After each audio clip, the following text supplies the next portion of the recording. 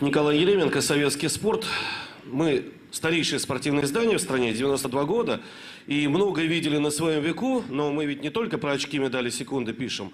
Э, переживаем за спортивные судьбы страны, и иногда складывается такое впечатление, что побольше, чем иные чиновники, к сожалению. Э, мы были свидетелями того, как после двух докладов господина Макларена ряд чиновников пережил, пусть и не сразу, увольнение или, скажем так, перемещение. А можно ли говорить, что сейчас ситуация с допингом в стране после принятых кадровых решений э, на пути к э, очищению, э, к тому, что ситуация исправится, или это пока недостаточно? Ну и второй под вопрос еще. Вот этот мегамонстр ВАДА – на ваш взгляд, он может быть реформирован или кто-то придет ему на смену? А, это ведь вопрос не чисто спортивный. Многие усматривают в нем э, все-таки политическую составляющую. И есть ли она, эта составляющая, на ваш взгляд? Спасибо. А, прежде всего, допинг как таковой и проблема допинга. Э, во-первых, в России никогда не создавалось это просто невозможно, и мы будем делать все, чтобы этого никогда и не было. Никакой государственной системы допинга и поддержки допинга. Вот это первое, я хочу еще раз это сказать. Второе, у нас так же, как в любой другой стране, проблемы с этим есть. Мы должны это признать и, признавая это, делать все, чтобы не допустить никакого допинга. И в этой связи мы должны тесно сотрудничать с Международным олимпийским комитетом, с ВАДой должны сотрудничать и с другими международными организациями. И мы будем это делать. Надеюсь, что, что те изменения, которые происходят, это дело не только в кадрах, а в системных, структурных изменениях, они помогут нам решать все эти задачи. И, кроме всего прочего, Следственный комитет Российской Федерации, прокуратура расследуют все, что связано с применением, использованием допинга – и, безусловно, доведут это все до логического завершения. Вот если говорить о тех так называемых информаторах, которые э, убежали за границу и сдают э, там все подряд или что-то придумывают, может быть, уже, хотел бы что сказать. Вот э, я уже не помню фамилию этого гражданина, который удрал, он, который возглавлял у нас российское антидопинговое агентство. Он же до этого где работал? В Канаде. А потом что он делал? приезжал в Россию и, будучи назначенным на высокую должность, таскал сюда всякую гадость. Я с трудом себе могу представить, что он, перемещая через государственную границу Канады или США вот, э, вот эти запрещенные препараты, никогда никем не был замечен.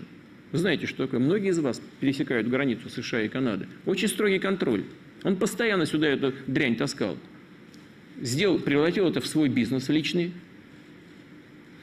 Заставлял людей его брать и э, э, применять. А те, кто отказывался, скажем, как пловцы, он еще против них придумал какие-то санкции. Потом, когда ему хвост прижали, не смогли его посадить просто, он удрал и начал там, защищая себя и гарантируя себе место под солнцем, начал там все сливать, имея в виду, что а, ему там создадут условия для нормальной жизни. Ну, на, на каком-то этапе создадут. Потом, как любого негодяя, бросят просто, и все, никому так, такие не нужны. Чего же он здесь не боролся? Понимаете? Но, но поэтому меня это как бы наводит на, на определенные мысли, что его там кто-то и вел. Дождались определенного момента и, и сделали вброс этот. Но это не значит, что у нас этого нет. У нас это есть, и мы должны с этим бороться. Надо это признать и делать это. Э, прежде всего, думая о здоровье спортсменов. Но э, по поводу ВАДы, я не считаю себя вправе давать оценок деятельности ВАДы. Это должен сделать Международный олимпийский комитет.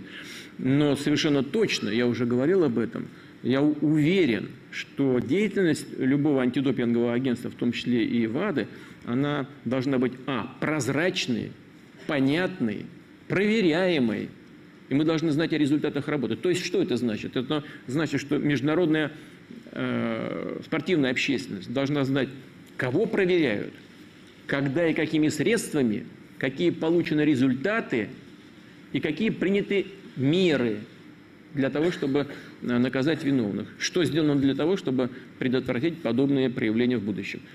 Это что такое? Это что, какая-то оборонная сфера, что ли? Нет.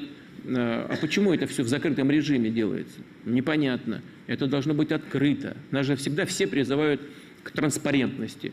Вот в этой сфере транспарентность совершенно необходима. Мне трудно не согласиться с теми выдающимися спортсменами, которые в отношении, скажем, последних решений, связанных с переносом там, крупных соревнований, говорят о том, что не было известно, а если известно, почему сейчас э, вбрасывается. Вы знаете, безусловно, есть определенная политическая составляющая, во, всех, э, во всех этих делах. Надо очистить спорт, так же, как и культуру, от э, всякой политики, потому что спорт и культура – это то, что должно объединять людей, а не разъединять их.